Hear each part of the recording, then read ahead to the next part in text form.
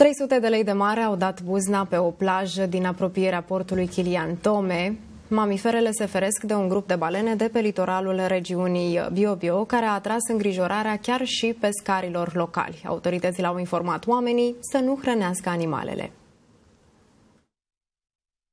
especie silvestre, por lo tanto se pide no alimentar ni acercarse, ya que es una especie que puede llegar a ser peligrosa y además eh, tomar en consideración de que esta se encuentra en veda extractiva por vías